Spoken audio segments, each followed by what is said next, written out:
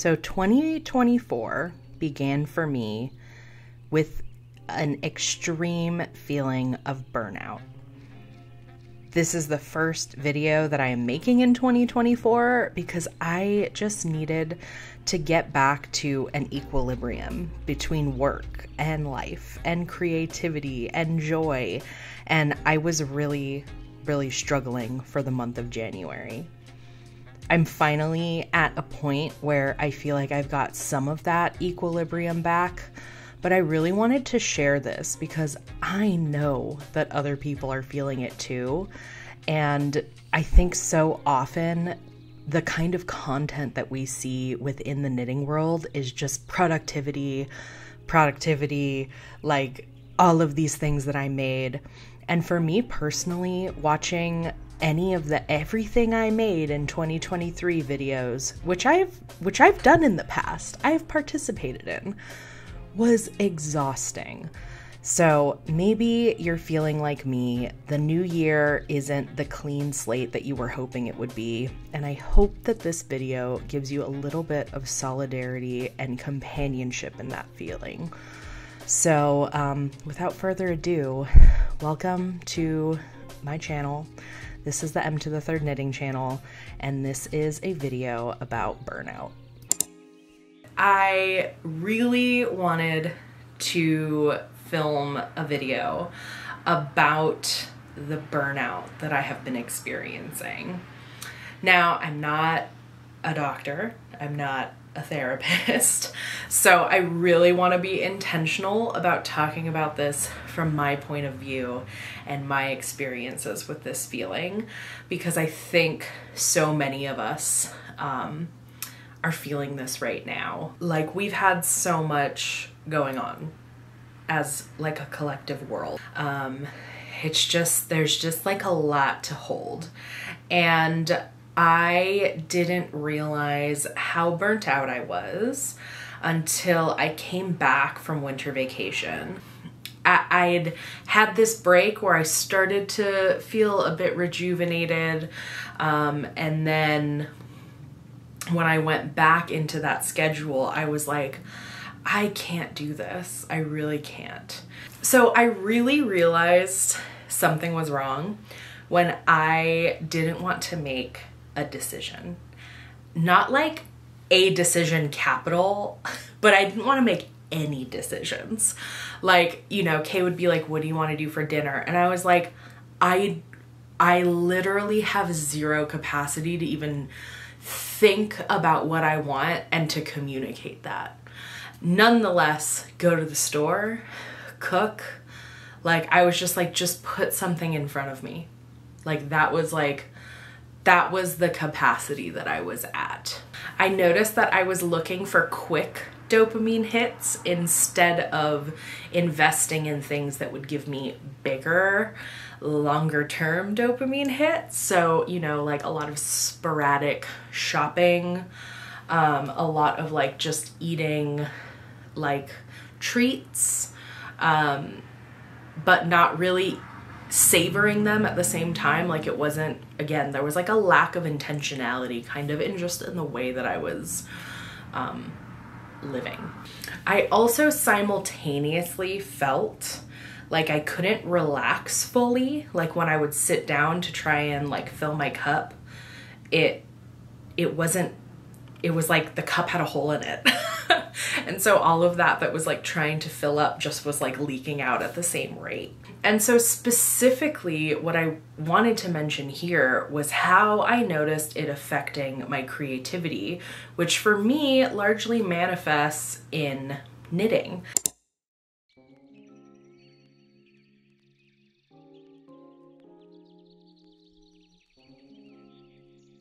a piece of this that I've recognized is that when I am sort of at this capacity, my creativity really takes a back burner. And I find that what I want to do is just work on projects like this that are not very challenging for me technique wise. Um, I'm really excited about both of those sweaters, but they're such big projects that you don't see progress as drastic as spending an hour on this, where I have my little stitch marker and I'm like, wow, I've knit an inch or whatever.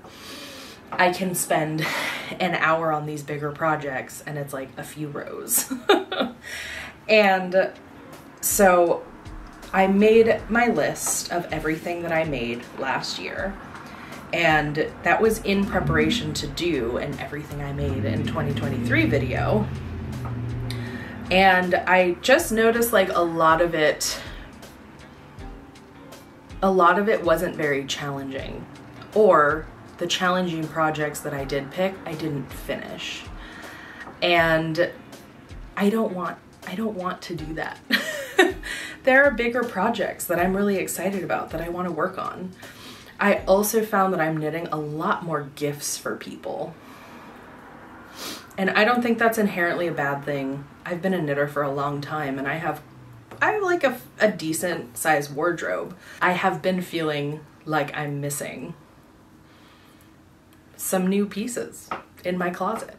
So, those are some changes that I want to make for this year. I'm not starting off strong by knitting this Musselburgh hat. And I, you know, I also think that if I set very defined rules for whatever this moment is, it's not going to actually benefit me in the long run. So I'm really just kind of following my whims. Um, I think the awareness of like why I might be prioritizing something over the other feels good as opposed to like setting rules and being like, no, you can't do it that way.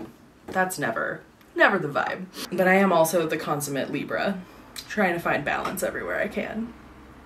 So I'm gonna finish this hat. I'm gonna knit it.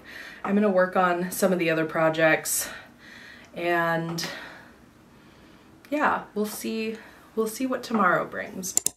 As I kind of ease back into um, you know, an equilibrium, I am noticing my excitement around playing with color, playing with new patterns, kind of going outside of the box, not really worrying if it's going to work out or not. It was almost like my resources to make were so limited that I didn't want to do anything that I wasn't 100% sure that it was going to turn out. Now it's tough because a lot of the symptoms of burnout are very similar to anxiety and depression. And I am an anxious person. I have anxiety and I am on medication for it because it is debilitating when I am not on medication for it. Um, and so it's it's like is this a symptom of needing to be on a higher dose of medication?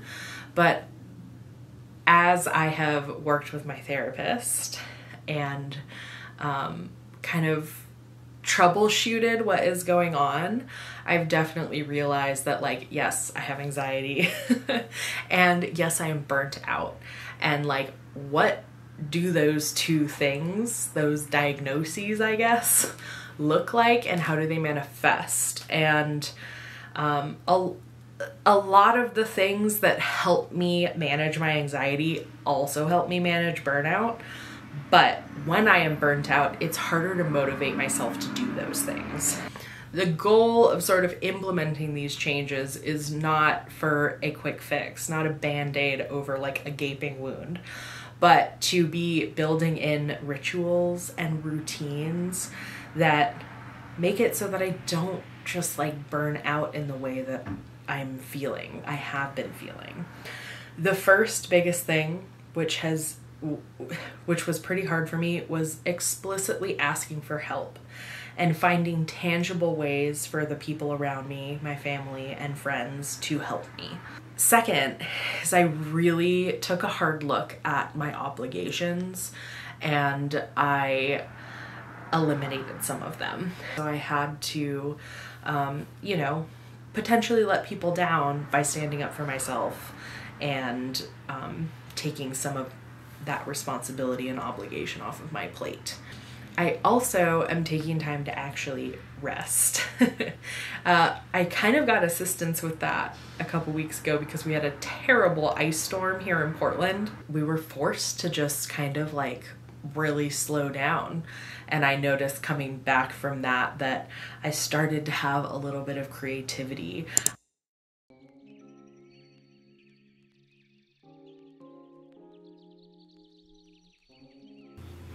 I finished my Musselburgh last night while um, watching TV with Kay.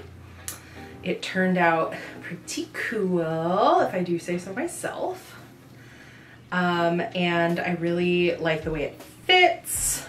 I did run out just at the very tippy top, which I sort of anticipated um, might happen, but I just used some pretty similar colored yarn and you can barely tell.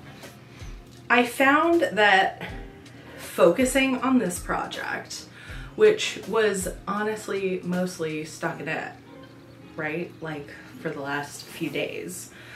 Um, it was kind of making me feel guilty about the fact that I wasn't working on something a little more complex. This is what I was talking about. One of like the symptoms, I guess, of my burnout is definitely wanting to do simple projects.